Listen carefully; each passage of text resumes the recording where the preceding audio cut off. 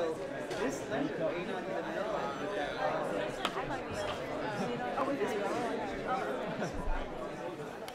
the Federal Reserve System. Okay. The Federal Reserve System, we could, it was on the gold standard then. So there's gold here. Okay. And there are uh, Federal Reserve Federal Reserve notes as a liability. And there's also bank reserves here, which are reserves.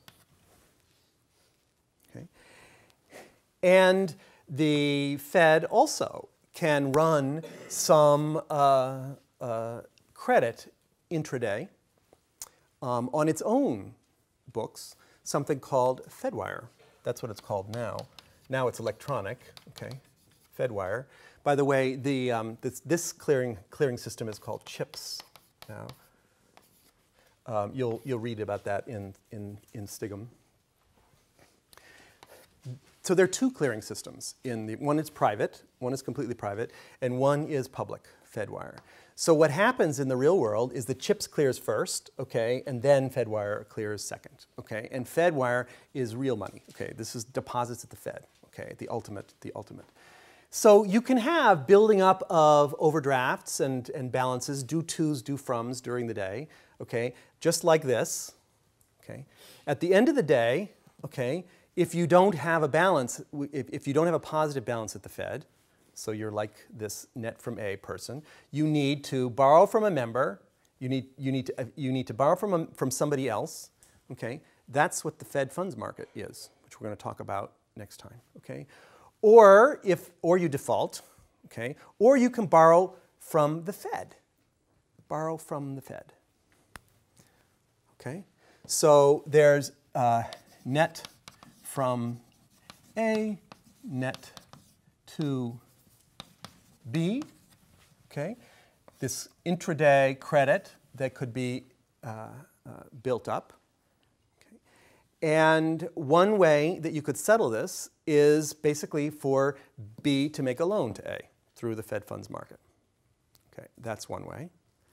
But if, if they can't find each other, or B's not willing to do that, no one's forcing them to do this, okay, then the Fed can make the loan itself. Okay. So these are discount loans.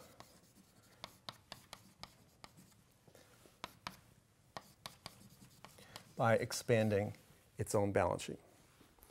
The Fed will do this, and you can see this on the balance sheet of the Fed. Some of these little loans to troubled banks, you can see this on the balance sheet. They're not very large typically. It's, you're dealing with, with troubled, troubled banks, and they're, they're constantly dealing with troubled banks, and every, I don't know, every week one fails. You know, there's a lot of banks in the United States, so there, there's, there's a lot of this, and, they're paying, and there's whole divisions paying attention to this. It doesn't matter anything for the aggregate until there's a system of stress, just like the clearinghouse, okay? And then the Fed can and does do what the clearinghouse did, except it's all legal. It's all legal. Um, it's just expanding monetary policy. It's expanding both sides of its balance sheet in order to make there be more, more of the best money in the system. That's basically what Bernanke is doing. He's just he's, he's buying, buying mortgage-backed securities. That's what he's doing. That's, that's QE right there.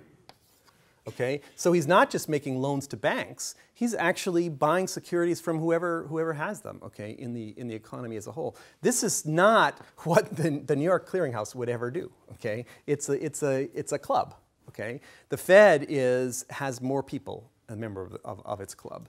Um, more, more member banks to begin with, okay, throughout, throughout the country. Um, but it also is willing to, to as in, in times of crisis, to basically lend to broker dealers and buy mortgage-backed securities.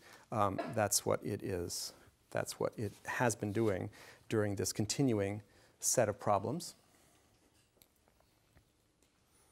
So there's a, there's a sort of strict analogy between a private clearinghouse and a public clearinghouse here. They, may, they run on the same principles. They have different sets of membership, different rules, different priorities, but the actual mechanics are very much the same.